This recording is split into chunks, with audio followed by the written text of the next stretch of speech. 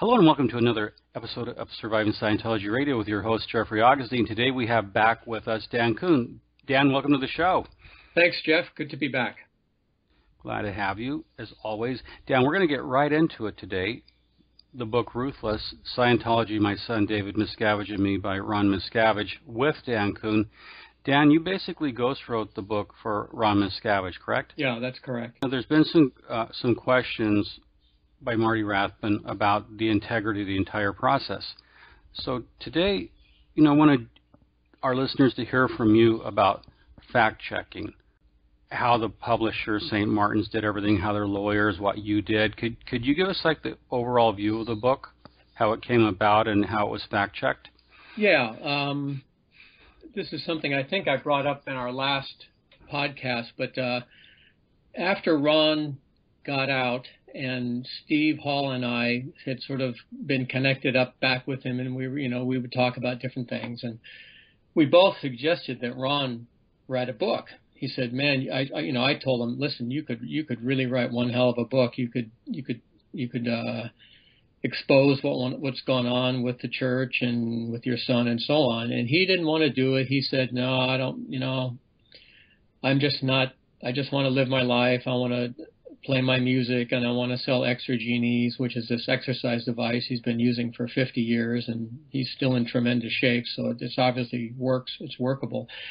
At any rate, um, what happened was, you know, the PIs were following him for a year and a half, and they finally got busted and you know, again, Steve and I are on him saying, "Oh, Ron, you got to write a book. You got to write a book." He didn't want to write a book, and what made him decide to write the book, which we cover in, a specific thing, is he went down there to try to reconnect with his daughters, Denise and Lori, after they had disconnected from him. When he came out, they had been back in touch with him. Everything was great. They talked uh, several times a week, or maybe almost every day, and they exchanged messages. They're, they're basically the family got put back together and then Dave started putting pressure on them to quote unquote sort out his scene with the church. And eventually, both Lori first and then Denise stopped communicating with him. And that, uh, Ron and Becky decided in September, I believe it was September 2014, they were going to drive down to Clearwater and try to reestablish the connection and neither of the daughters would speak to them. And at that point, Ron decided he was going to write a book because he realized that, first of all, he had nothing more to lose. And he decided that he had to speak up and do something about this disconnection policy that the church uses to destroy families. So that's when he decided to uh, finally take the bulls by the horn and start writing the book contrary to what anyone else says. Like some people have said, it's a, it's just a cash grab and this and that, but he wasn't. He was willing to let this whole PI thing just go by the boards. But when his daughters cut all the communication, that's when he decided he had to speak up. And then did he contact you and say, Dan, can you help me with the project? Well, we talked often. You know, we were talking several times a week anyway. And he said, you know, something. He told me about what happened when he went down there. And he says, you know, something. I'm going to write a book. Well, about a month or so later, uh, my wife and I were out in Los Angeles visiting uh, her son and his family. And so I flew back with my little recorder, and we I sat in Ron's at Ron's uh, table in his living room, and we talked for three days straight. I asked him questions. He told me his story. I got maybe I must have gotten 30 or 40 hours of recordings, and I came back here and wrote a draft of the book, and we would discuss different things as in, in the intervening weeks and months. And I finished a draft in about three months. Went back over, saw him again. We polished it up, and then we started looking for a publisher and an agent. So there was definitely um, a lot of back and forth. You know, obviously, I, I sort of took what he gave me and I wrote the story. I wasn't uh, as a ghostwriter. I don't feel it's my province to try to uh, influence voice of the author, the person who's going to be fronting for the book. So I, you know, I kept my opinions to myself. I did have input, and I, when something wasn't clear to me, I would ask further questions and ask for further explanations on things, and that, of course, occurred a lot. But we were pretty happy with the uh, the final product, and I'm, I'm still pretty happy with it today. When you set out proposals uh, to publishers, St. Martin's came back and said we're interested. What what happens when St. Martin's said we're interested? Well, they they were uh, they got a hold of our agent and they, and they wanted to uh, they wanted to buy the book, so they prepared a contract. And you know, Ron is is really the author of the book, or he's the one fronting for it. So he you know he signed the contract, and then that began uh, the editing process because St. Martin's they they placed some limits on how long the book could be. They wanted it to be under eighty thousand words so they had some of their conditions, and then they their editor Karen Walney, who's the the top editor at St. Martin's, started going working with us to to clarify things, to smooth out, uh, answer questions, you know that didn't she didn't feel were answered uh, well enough because Ron and I, both being longtime Scientologists, sort of took certain things for granted and she brought those things to light and made us clarify things and she wanted things worded in, in uh, different ways or just to, to, you know to clarify the communication better and so her work was extremely helpful and I think it gave us a much better uh, and much more even-handed uh, final final draft to go out to the public.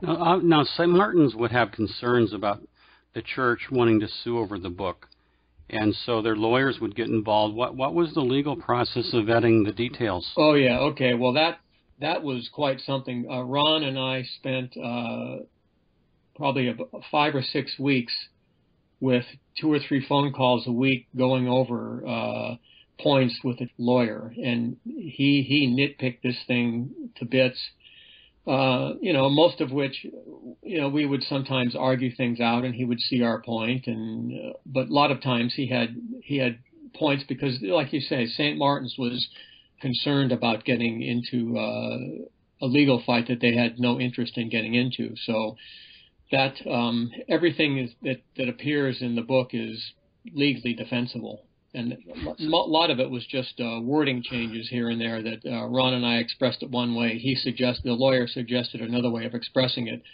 which was fine with us because we we just wanted to uh, tell the story and get get the story out there. This was a lawyer who worked for St. Martin's, and he was oh. he was responsible for vetting, uh, you know, vetting the book from a legal standpoint. Is something we're saying could that be inflammatory? Could that bring the wrath of the church legal team, you know, the phalanx of lawyers that David Miscavige surrounds himself, could that bring those guys down on St. Martin's? And they, they wanted no part of that. Now, one thing that, that Marty Rathbun was critical about, he said the book contained hearsay.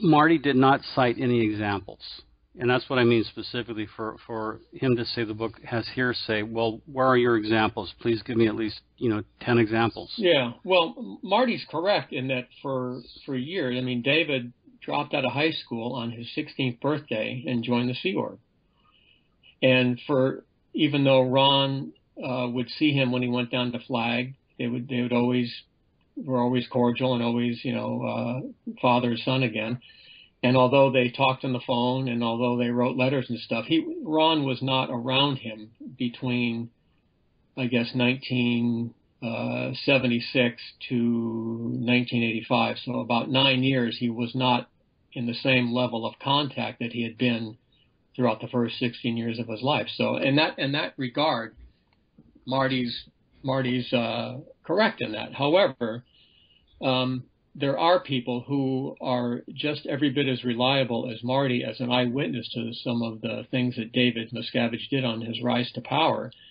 And we consulted with several of those people, uh, probably uh, three or four, maybe half a dozen people who had worked with David in the in the CMO, who had roomed with him, who had been friends with him, and uh, these people's their recollections. There's no reason for any of us to doubt the recollections that they that they uh, how they recall things.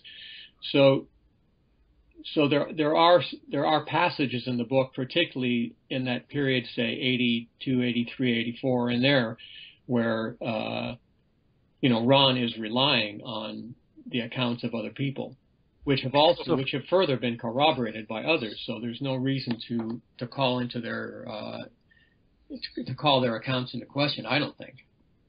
Well, for example, I've interviewed Mark Fisher se- several times. Yeah. And he was with uh, David Miscavige during that period where, where Dave is at ASI.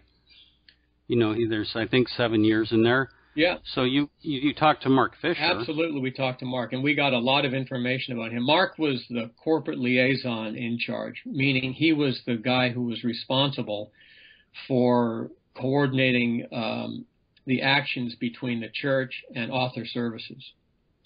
So, he he was like like it says the corporate liaison. That was his post title, and he he knew everything. I mean, he he's the one who gave us the information about how uh, DM got the OT materials, quote unquote, from Pat Broeker. And, and even Marty himself has recounted that on his blog. Yeah, that's right. So there's a lot of historical facts that have been established by eyewitnesses. Yeah. And that, that speaks to the book's credibility. The Church of Scientology itself put up a hate site attacking the book, but that to me is unremarkable.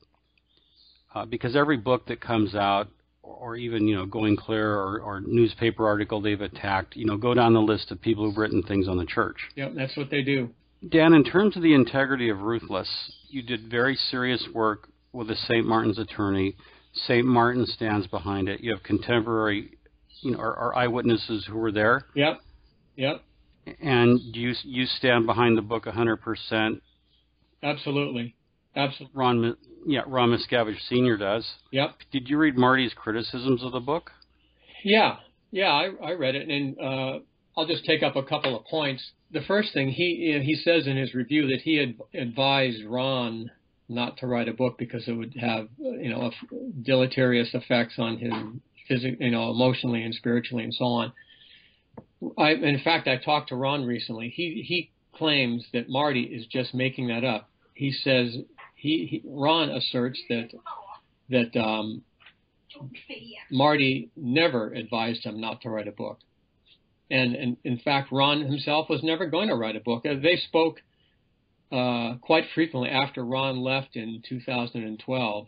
He connected up, you know, he got in contact with Marty, and they had many conversations, but nothing ever revolved around writing or not writing a book. He, Ron says that's just Marty's just making that up. You're in good contact with uh, Ron Miscavige Sr., and I'll leave that to uh, Mr. Rathbun to comment on. Okay. Now, something else that's happened is Marty has criticized Louis Theroux's upcoming movie on Scientology. Marty made a comment about the, the central scene, which have you seen the trailer where the, the David Miscavige character? Yeah. Yeah. Now, to you, does that seem like David Miscavige at full throttle? No, it seems like David Miscavige at about half throttle. I mean, nobody, and I posted a comment on Tony Ortega's blog today. Nobody can blow his stack like David Miscavige. And so whatever whatever was done uh, in the film, whatever whatever was recreated is is probably one one fifth or one half of what David Miscavige is capable of. And that guy can he can really lose it. Can you give examples of times you saw him lose it or physically assault people? Well, I remember one one time and one time specifically, we were uh, uh, in 1996 during the whole golden age of tech evolution. There were command teams, which are groups of people that are going to be going out to the continental organizations in Scientology throughout over the world, and they're going to be sort of taking command of those areas. And he called called them all up to the qualifications building in at Gold for a briefing. But before then, he wanted Ray and myself to come up there. So Ray and I went up there, and then the minute David walked in, he walked up to Ray and just started kicking him in the ass. And he kicked him hard in the butt three times, and Ray just sort of took it. And I had I had no idea what brought that on because there was no conversation prior to. It. He just walked in and, and kicked him three times. And to me, it was a, slightly amusing because Ray is very tall and David is very short, and to see this little guy kicking this big guy in the ass and the the big guy taking it was kind of you know at the time I'd been sleeping two hours a night for several months and and that that's it just sort of impressed me as as being a bit strange. It got worse and worse as time went on. You can't really compare Scientology under David Miscavige with the corporate world. You have to compare it to the North Korea or uh, Iraq under Saddam or Libya under Gaddafi because those people had ultimate power and they they they were the uh, they made the rules and that's the way David is that that's the way DM is in Scientology he makes the rules. Dan, we have a series of books written by people like Nancy Many. Yeah. And we have Blown for Good by Marc Headley, Jenna Miscavige. You know, and you start you start going down the list of the great books that are written out there. Yeah. Even going back into the 80s, you have Russell Miller, Jon Atack, both exceptional books. Yeah. You go back to the 70s with Paulette Cooper, Scandal of Scientology, George Malko's book. The one, the one thing these books all have in common is that they have been seriously attacked by the church. That's right. The church cannot respond to criticism because Mr. Hubbard said, always attack, never defend. Yes. That's his policy. And that's one of the knocks on the church is why don't you have a meaningful dialogue with culture? The, the term that, that Mr. Rathbun is using, the anti-Scientology community, uh-huh.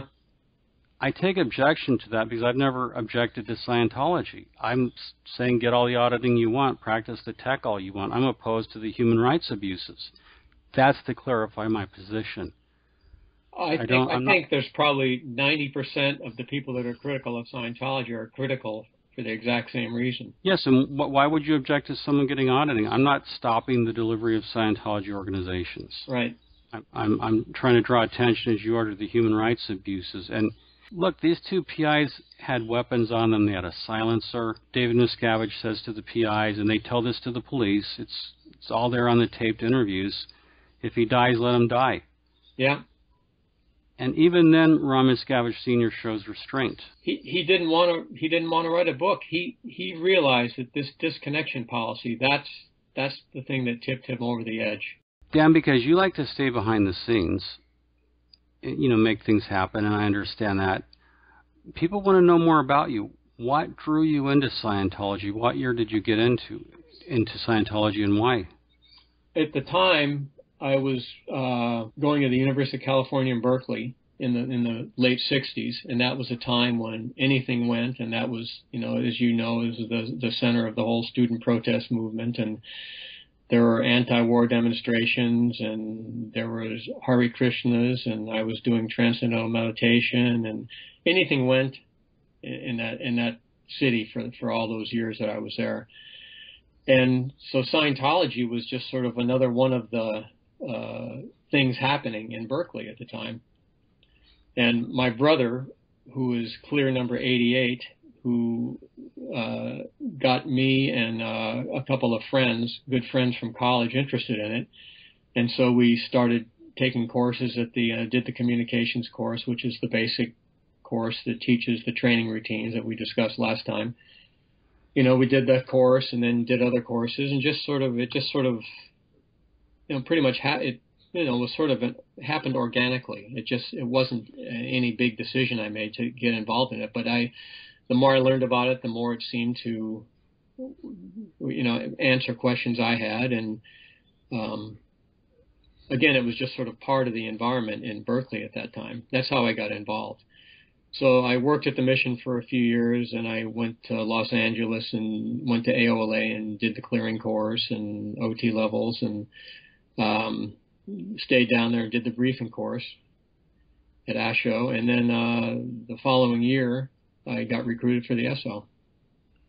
Now, what year? What year did you join the Sea Org? 1977.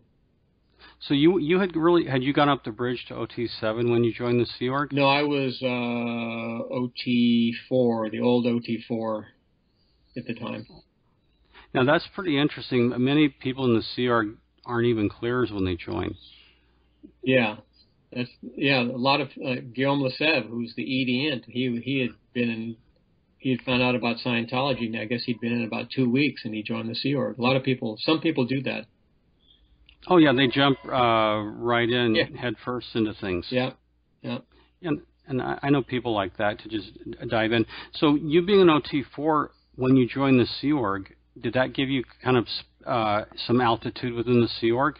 Maybe better posting than you would have gotten otherwise? No, not at all not at all. I, I was I was recruited to be uh, one of the auditors in the qualifications division, like in um, in a Scientology organization, the auditing occurs in what's called Div 4, the technical division. But in a, because there were no public where we were at the at the at the base in La Quinta, uh, all the auditors were in the qualifications division, and they sort of were responsible for the staff enhancement, which was their auditing. Okay, now let me let me get this straight. You join the Sea Org and you go right to base. I mean, you're cleared to go to base.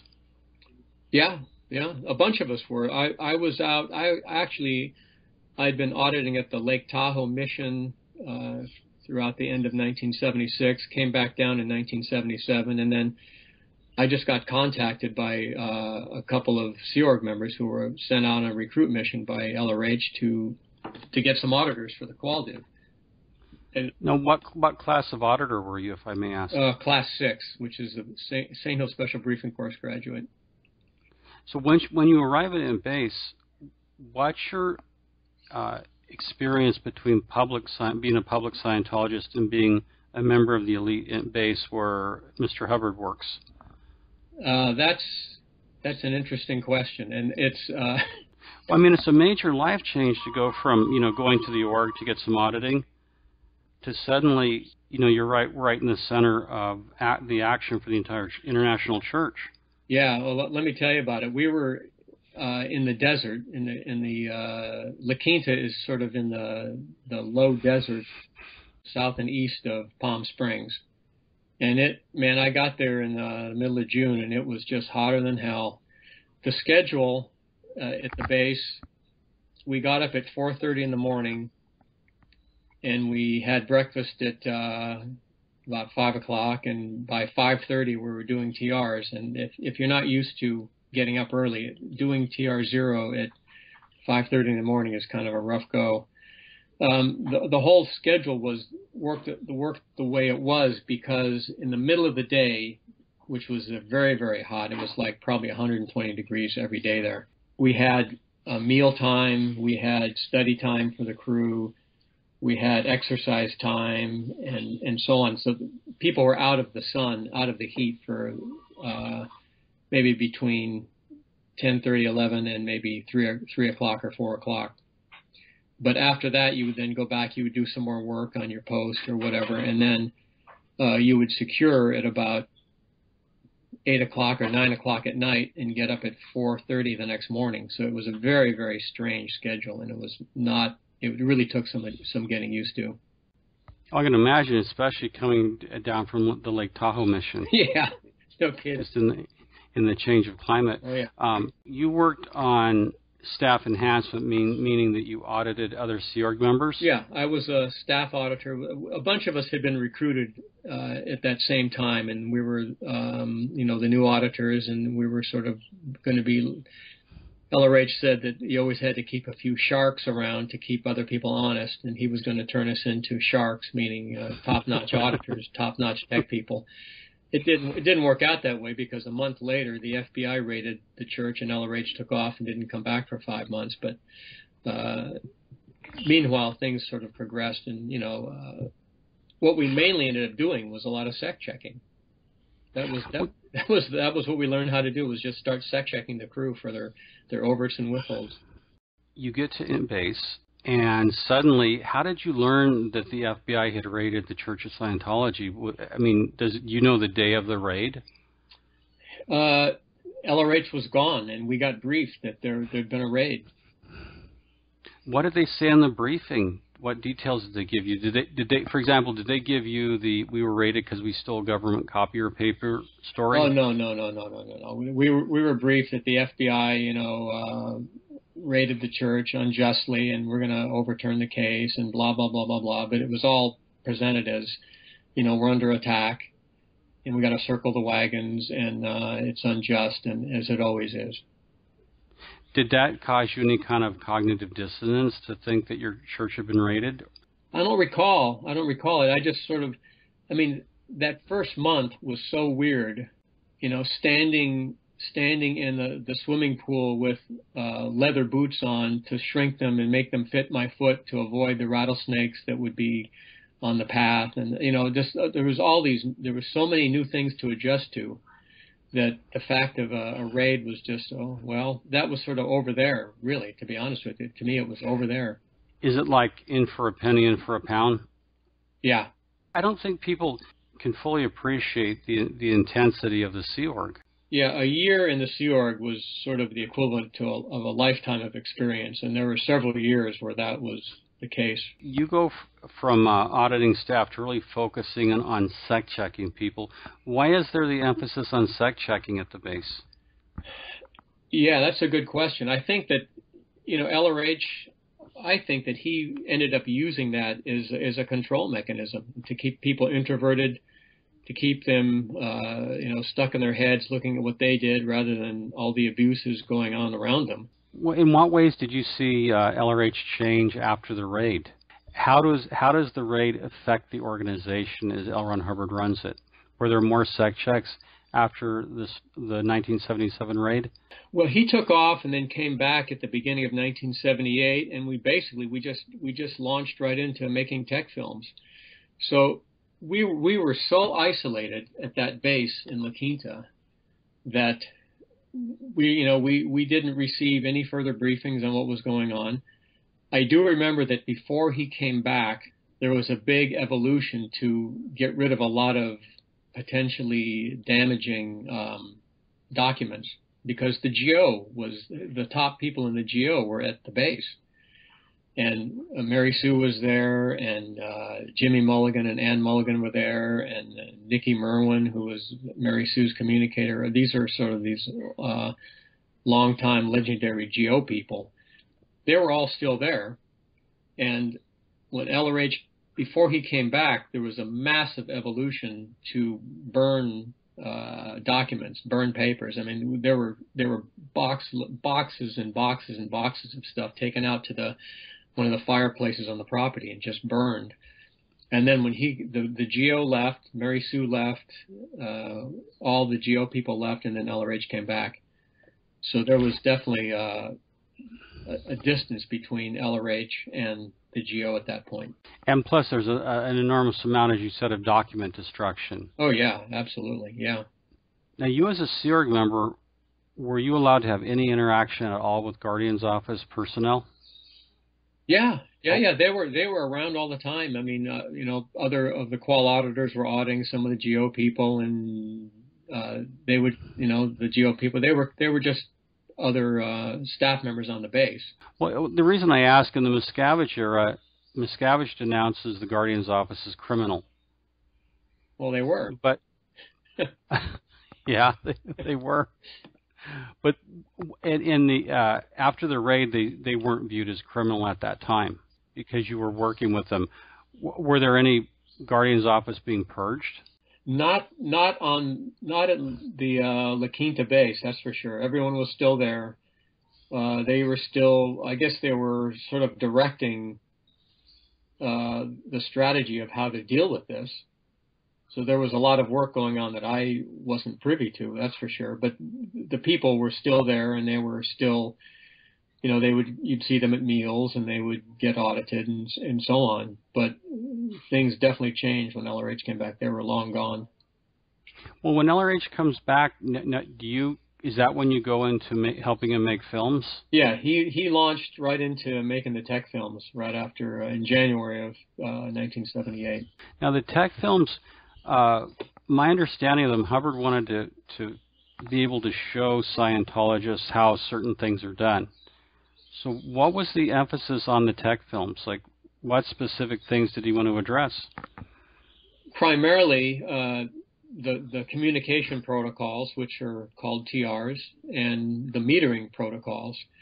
When we first arrived, uh, in 1977, uh, before he took off, he give he came down to Qual and gave uh, some a few lectures to the to all of us Qual auditors, and uh, he said that a, a PC has to be interested in his own case and willing to talk to the auditor, and those those fundamentals of the PC interest uh, has to do with how well the auditor can make the e-meter read and how how well it can disclose uh, things that are bothering the PC.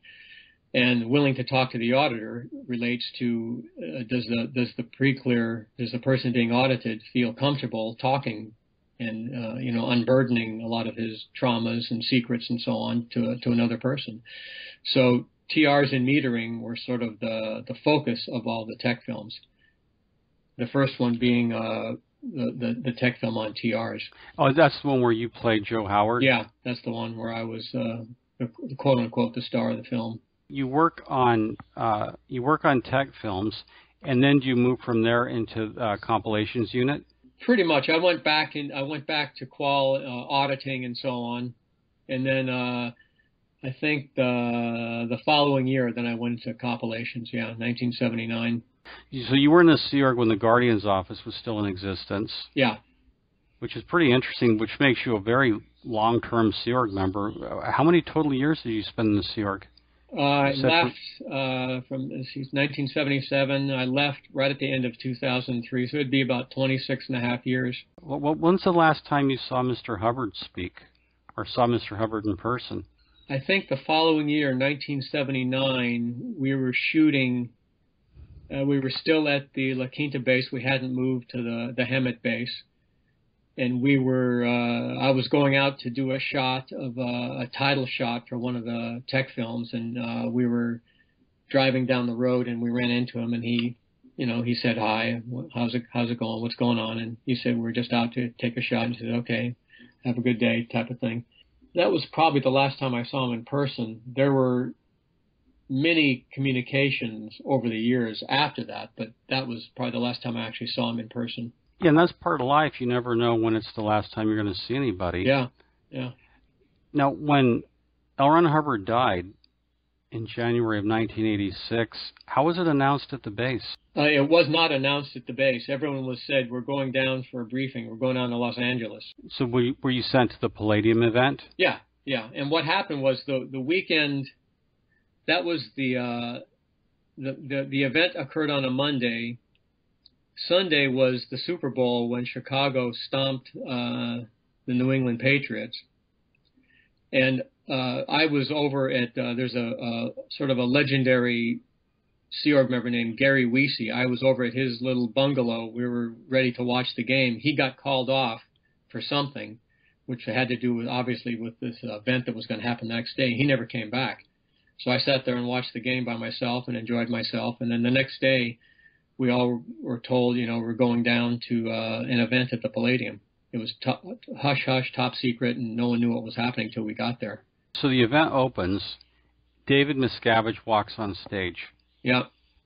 How well did you know David Miscavige at this time? I'd say I knew him pretty well. I mean, we had um, had many interactions. You know, we had. Um, I didn't. I hadn't worked with him a lot but everyone knew DM and everyone sort of respected him. And he had been down at ASI, and I'd done some work for him at ASI, writing liner notes for albums and stuff like that. So I, you know, I knew him fairly well. So it was no surprise to you uh, when he walked on stage. The reason I ask is for many Scientology publics, that was the first time they ever saw David Miscavige. Yeah, that's right. To us, though, he he was, you know, by 1986, everyone knew he was uh, the boss Buffalo, so it was no surprise to see him come out first. No, in the in the Sea Org when uh, L. Ron Hubbard dies, there's a power struggle between David Miscavige and Pat Broeker. You, I think you said for two years. Yeah, it, it got resolved. Uh, I guess sometime mid 1987, maybe late 1987. And then clearly David Miscavige uh, emerges as the winner of the power struggle. Yeah. That's right. And then he he leaves uh, Author Services International and becomes chairman of the board, Religious Technology Center. Correct. What what was your understanding of what RTC was and what it should what it's supposed to do? My relationship, being now back into RTRC, my relationship was that RTC, and particularly Ray Mithoff as Inspector General for Tech and David Miscavige as the chairman of the board, were the final authority authorization terminals for what I was working on, the, the courses and bulletins and things like that.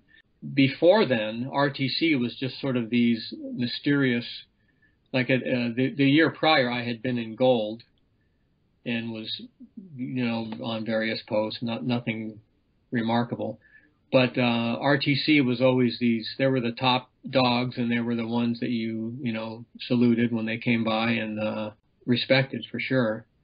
And when he came back up in 19, I guess the spring of '87, he started cleaning house, and Vicky Aznaran was gone, and Jesse Prince was gone, and a lot of people were gone.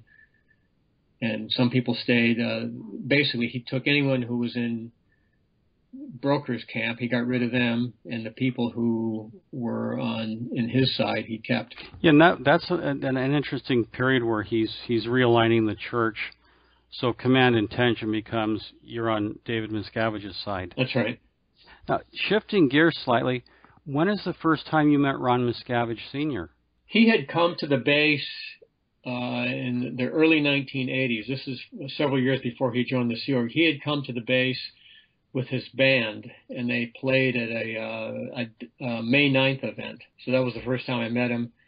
And then uh, a year or two later, I was down at ASI I'd been called down there to write some liner notes copy for one of the music albums. It was either Edgar Winter's album or Chick Corea's uh, album or something like that. I drove the van the next day. You know, David stayed up all night doing stats or whatever it was, and I drove the van back the next day with him sleeping on the floor in the back of the van. When I got back to the base, Ron was there visiting, and he he grabbed Dave and uh, picked him up his arms and carried him into his room. David, you know, David had been up all night and he was he was zonked out, and uh, Ron picked him up and carried him into his bedroom, and that, that was the second time I met him. And did and once Ron joins the Sea Org, he's at the base where you're stationed. Yeah, he he was he spent some time on the EPF down in Los Angeles, meaning the Estates Project Force, which is just sort of an orientation to Sea Org life. And then uh, he came up to the base, so and we sort of developed a friendship, uh, interests in you know exercise and philosophy of Scientology and different things and music. So we always hit it off well. So you knew Ron Miscavige Sr. for many years. Oh yeah, yeah, yeah. It's one of those things, you know, karmically, you never realized that someday you would help him tell his story. Not at all. Not at all. Dan, have you read uh, the Church of Scientology's Hate website on Ron Miscavige Sr.? I I looked at a few things, and there the, the thing that sort of uh, really surprised me was some of these videos that people who had worked with him for years and were considered very close friends and who uh, had you know they, they'd been they like I said they'd worked together for maybe 20 years now trashing the guy and you know that there was off right, you know, right outside the camera frame, there was a gun being pointed at these people's heads. It also brought brought up the brings up the point that uh, most of these videos that they that they had were sort of glowing uh, uh, reviews of David Miscavige and maybe 10% trashing Ron, but it also totally contradicts the fact that David Miscavige says he he doesn't run the church, he doesn't run Scientology, but yet he's I think we mentioned it. You brought it up last week. He he's uh, figuring out the kitchen in the in the kitchen utensils in the in the galley, and he's determining you know how the rooms are going to be painted in the new berthing building and stuff. This guy micromanages everything. Yeah, and I wrote an article for Tony Ortega about that's a big contradiction between what he said in the Rathbun versus Miscavige lawsuit. I have nothing to do with running the daily affairs of the church. On this video, he's getting down into the actual skillets in the kitchen, I guess, you know, the carpeting in the apartments. Yeah. But but you know, because Sea Org has such a tight bond, my sense of the uh, smear website on Ron Miscavige Sr. Yeah. There was obviously a feeling of betrayal. You've betrayed the group. And you see Peter Schless, who worked on the famous on Jeffrey Osborne's song "On the Wings of Love." Yeah. I thought Peter Schless really dishonored himself. He didn't come across as sincere in the video when he you know, when he made unkind remarks about Ron. Yeah. Nor did his fellow musicians. Yeah, all those guys dishonored themselves. Every single one of them. I I know all those people, and they were very good friends with Ron. They were very good friends with me. I was friends with all the musicians, and uh, Russ Greelick, who was a sound mixer, and uh, Rick Cruzen and Peter Schless. I knew all those guys very very well, and they, like you say, they really dishonored themselves, and they're gonna at some point they'll probably live to regret it. Dan, let me ask you this, because it's something I really want to know, and the public wants to know. When Ron Miscavige Sr. was in the Sea Org, was he held in high esteem on his own merits, or is it as they're accusing of he he got to slide by on the ice?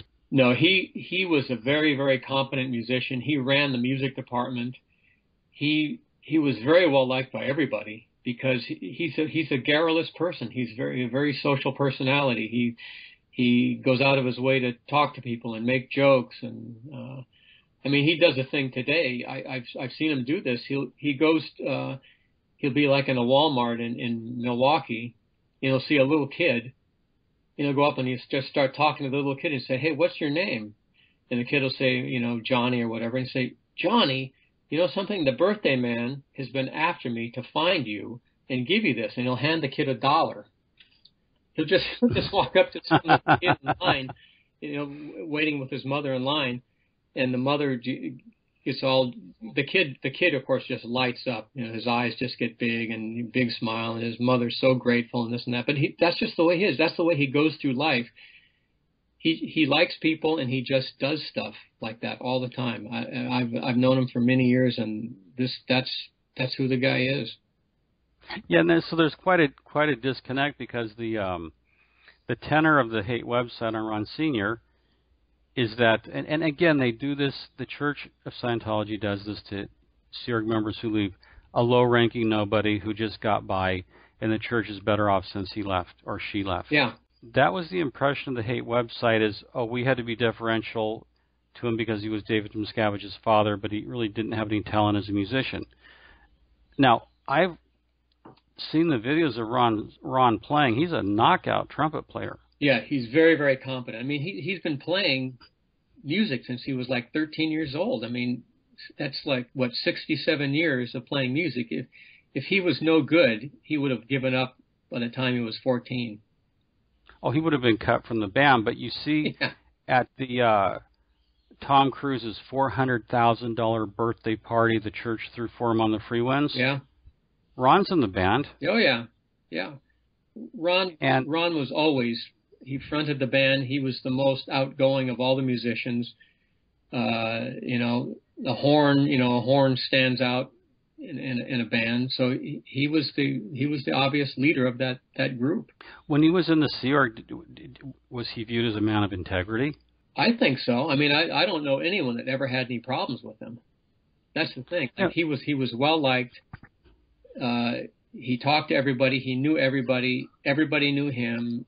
He was friends with everybody. Everybody was friends with him. It's just that that that smear website is it's a it's a an utter fabrication. I've I haven't watched everything. I just it was just like okay, I see where this is going.